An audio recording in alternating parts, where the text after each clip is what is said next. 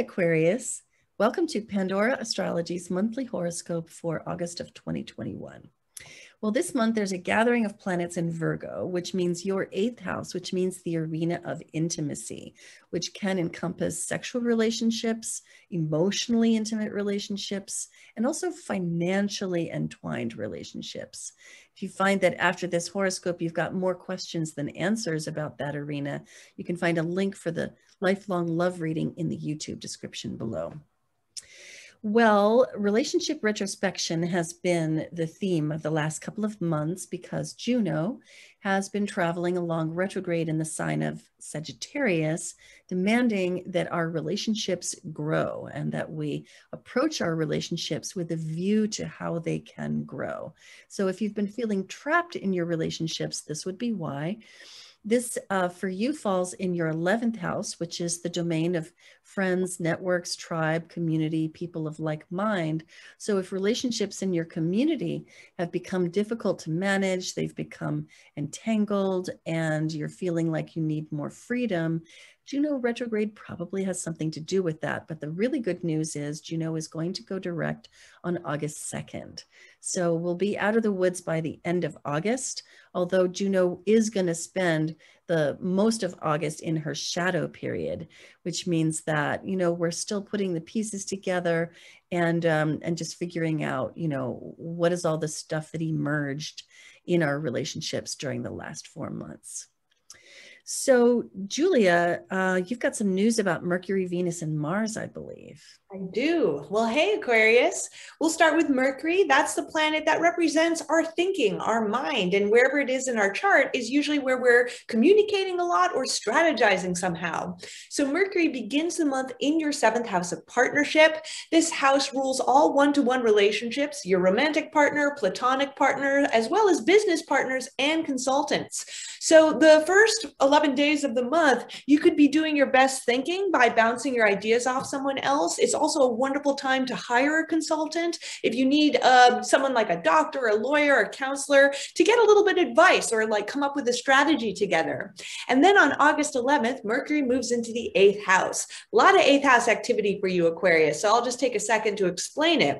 The eighth house is the house of shared finances. So, finances you share with people close to you, like through a joint credit card, or even institutions like mortgages, loans, taxes, uh, insurance, all these other types of things, investments as well. So, when Mercury moves into the 11th, um, you could be spending a lot of, or excuse me, moves into your eighth house on August 11th. You could spend a lot of time thinking about your um, about your shared finances, maybe strategizing about them. Uh, the eighth house is also a very kind of hidden house that has a lot to do with research and investigation. So it's a wonderful transit if you need to research anything, whether that's in your personal or professional life. However, be cautious about getting a little too paranoid too. Then mm-hmm. Venus, the planet of art, beauty, and relationships, begins the month in your eighth house. So wherever we have Venus is where we can get a little luck, get a little bit of pleasure too. So with Venus in the eighth house, you could get a little financial luck in your shared money, either with people or with institutions. This transit also has a way of increasing the intimacy in your romantic relationship as well. Um, and you also just might find more pleasure in, in researching, investigating, especially uh, with things that have to do with social taboos that are also ruled by the eighth house. Then Venus on August 15th, so the second half of the month, is going to move into your ninth house. That's the house of the higher mind. It's the house of travel, learning, and uh, when Venus moves into this house, it's a wonderful time to take like a little pleasure trip if you have a vacation planned. You could even have a little bit of a holiday romance if you're single. You might be attracted to somebody who comes from a really different background than you, even if you have to stay put and work and not travel. Um, and it could be a fun time in your relationship if you're attached to sort of have some adventures with your, your partner or do something kind of consciousness expanding as well, which is all ruled by the ninth. Now, Mars, the planet of action and activity is going to spend the whole month in the eighth house. So wherever we have Mars is where we could run into some frustrations and flare-ups as whereas as as well as where we can be very, very driven. So, since Mars is in the eighth house all month, you might run into some arguments or some flare ups over shared money, uh, which can be a little annoying. And um, you also might feel very, again, driven uh, by eighth house activities. Uh, this is the house of investigation and research. So, you could be, you know, expending a lot of energy in these areas as well. Indeed. And I forgot to mention this before but um, with all of these themes in the eighth house of intimacy and Mercury making you want to have those deep conversations with your partner, mm. uh, Mars making you want to uncover the truth, and Venus, you know, making it so much more easy and smooth to have those conversations. Um, Juno retrograde, I think, is has been, you know, has really kind of come to a head uh, for you specifically. And uh, if you want to know more about Juno retrograde, we made a video for it a couple of months ago. It's in our June 2021 news playlist. That's where you can find out more about Juno retrograde and how to get some resolution with it.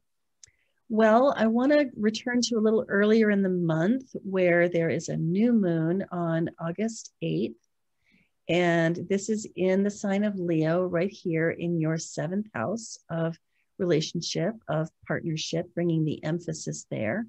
It's a moon in Leos. There is that quality of big personality, of um, of uh, self-involvement certainly, and attention seeking. But mm-hmm. this moon has a really sweet trine to Chiron, and so we're calling this one pride springing from wholeness, not ego. And it's also a choice because Uranus is here too, bringing in some irritation by squaring that moon and that Uranus could pull you to, um, you know, just sort of be the weirdo who has to grab all the attention. But Chiron is saying you don't have to do that. You can just chill and just, you know, recognize that you can afford to be proud of yourself, but it doesn't have to be something you slather all over other people. Now, uh, I'm not even saying that Aquarius, this is something that you're likely to do in your behavior. It's more really more likely to be uh, showing up in your partnerships. But um, I just wanted to let you know what those energies are about. And there's uh, always more about the moons of the month in the monthly playlist. So in the August playlist, you're going to find out more about this moon.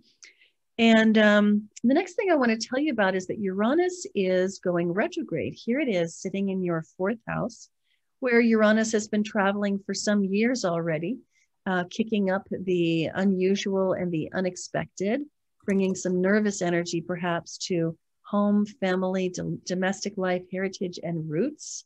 Um, possibly some shifts in perspective about your family, your heritage, your home life. Um, even a move of house is likely to happen as Uranus is traveling through the fourth house. And it usually spends about seven years there. So, really, who knows exactly which of those years without having a more specific look at your personal chart. Um, but I will tell you that when Uranus turns retrograde, and we're going to see the little red RX symbol appear right here, when Uranus turns retrograde, there's often a sort of a, a pivotal day that happens. It's like the conceptual shift process really kicks in. And, uh, and so um, if you find that around that day, around the 20th, the 21st, somewhere within a week surrounding that point, you have all this agitation and nervous energy, and you feel like you just kind of uh, can't really put your roots down, then um, this Uranus retrograde might have something to do with it. We've made a video about Uranus retrograde transits, how they feel and how to handle them. And if you want to find out more about it, it is also in the August 2021 news playlist on our YouTube channel. And the next thing I want to tell you about is there is a full moon in Aquarius coming right about here, uh, August 21st, 22nd, actually. And uh, the sun is in Aquarius in its second full moon in Aquarius within a month and uh, Jupiter is there with it. We're calling this one Hot Summer Night Party Moon because it's in August, you know, um, hot time of the year. And uh, it's very social because the moon is in Aquarius, signifying groups. Uh, great time for a party. Jupiter's presence certainly adds to the gregarious nature of this party, but uh, this moon and the party nature, you might say, but Jupiter can go over the top when retrograde. So uh, if you do host a party or attend a party, beware of bad behavior uh, under this full moon. Instead, go outside, look up into the sky, and look at the big, beautiful moon with uh, Jupiter shining right next to it. Um, and of course, there's a video about that in our um, YouTube uh, playlist for August. And then the final thing I want to tell you about is that the sun moves into Virgo right here on the 22nd, and then proceeds into your eighth house and through your eighth house for the rest of the month. And, um, and so this just brings attention right back to that arena of intimacy and your connections, even your entanglements with other people, whether they be emotional, physical, or financial. And wherever the sun goes, the spotlight of attention follows. Attention is like sunlight. When you spread it around, you encourage things to grow. And, um, and so bringing some of the spotlight of attention into the arena of intimacy can bring secrets to light that have been poisoning the system and can, um, you know, can kind of aid in the purging process that goes on there. So that's what we have for you today. Hope that you enjoyed it, Aquarius. And if you did, please share this video and subscribe to our channel. You can always find us on the net at pandoraastrology.com, where you can find your horoscopes, the monthly forecast, take a class, or get a reading. And until next time, we'll see you around the cosmos. Bye. Bye bye.